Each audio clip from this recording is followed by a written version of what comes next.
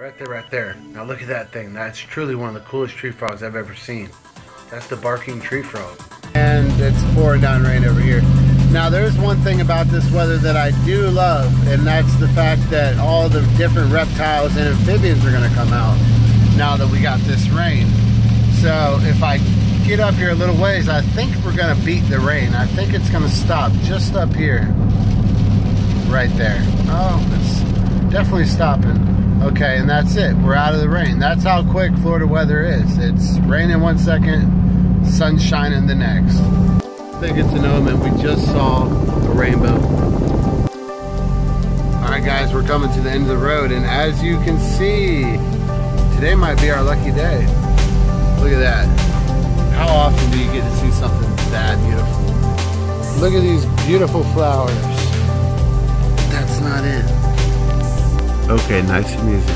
If you look right there on top of those leaves, there's a well camouflaged tree frog sitting right in plain sight.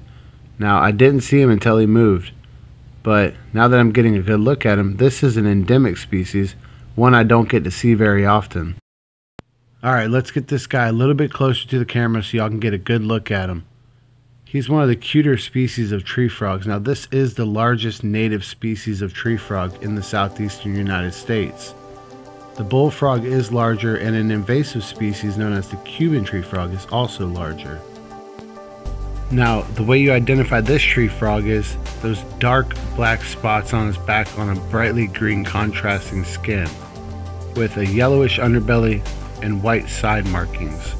Also chubby in appearance, unlike some other tree frogs.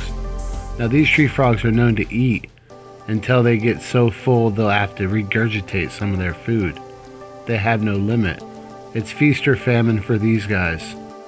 Like all amphibians, the barking tree frog relies heavily on water for reproduction and feeding.